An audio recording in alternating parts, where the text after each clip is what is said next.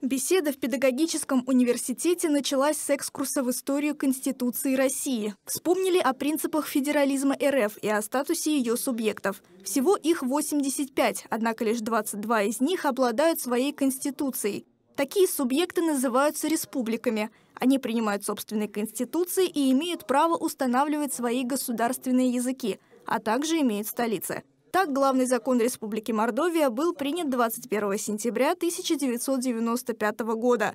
Новые факты студенты для себя открывали в формате дружеского диалога.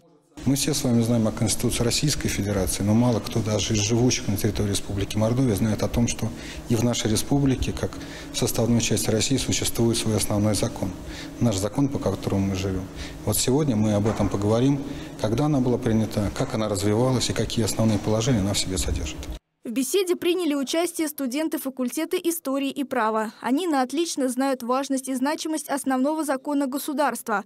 Однако некоторые факты о главном документе республики для них стали новыми. Будущие историки узнали, зачем ей нужна своя конституция, что содержится в ее преамбуле и как она соотносится с Конституцией Российской Федерации. Эти знания полезны не только для общего развития студентов. Как будущие педагоги, они должны уметь донести до учеников важность основного документа республики. Нам действительно важно знать его положение, знать его основные идеи. Поэтому я считаю, что сегодняшнее мероприятие как нельзя кстати, и оно очень важно как для подрастающего поколения, так и для будущих педагогов в нашем лице.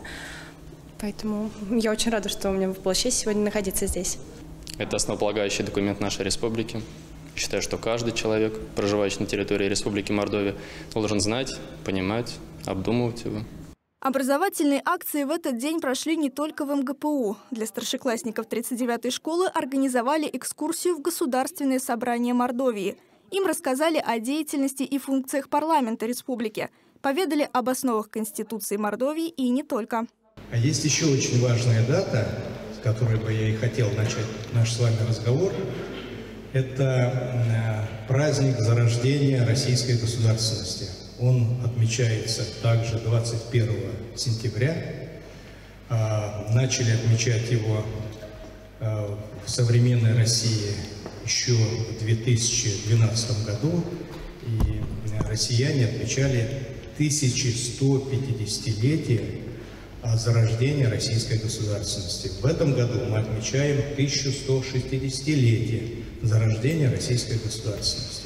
На протяжении многовековой истории мордовский и русский народы мирно соседствуют на одной земле. Мы часть России, но вместе с тем мы самобытны. Сохранить эту самобытность помогает в том числе Конституция Республики Мордовия.